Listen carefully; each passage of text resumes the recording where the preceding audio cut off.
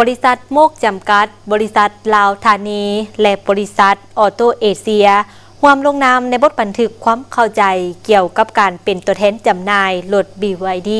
ในสาธารณรัฐประชาธิปไตยประชาชนลาว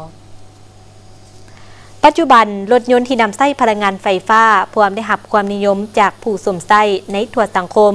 เพราะเป็นอีกทางเลือกหนึ่งที่จะช่วยประหยัดในการใช้จ่าย เนื่องจากราคาน้ำมันเสื้อไฟมีราคาสูง พร้อมเดียวกันรถยนต์ที่นำไส้พลังงานไฟฟ้า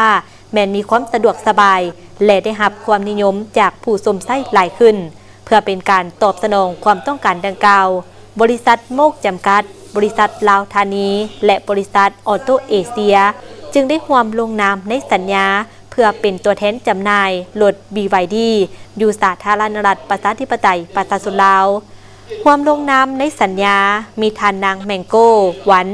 ผู้อำนวยการบริษัทโมกจำกัด ผู้นำเข้าและจัดจำหน่ายยี่ห้อรถ BYD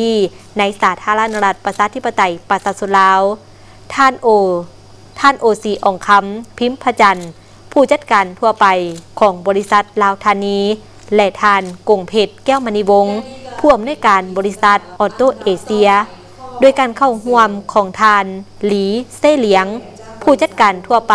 บริษัทบีบดีประจำภาคพื้นอาซีแปซิฟิก พร้อมด้วยบรรดาแขกที่ถึกเซินจากภาคส่วนที่เกี่ยวข้องเข้าห่วม รถยนต์ปีบดีเป็นรถที่แล่นด้วยระบบไฟฟ้า มีหลายรุ่นหลายรูปแบบ สามารถแล่นได้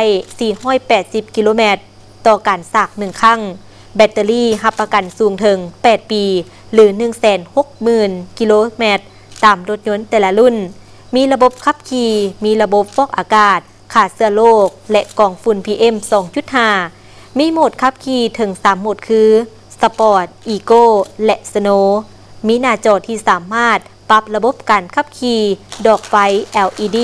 หน้าจอสัมผัสทงลมนิรภัย ความทันสมัย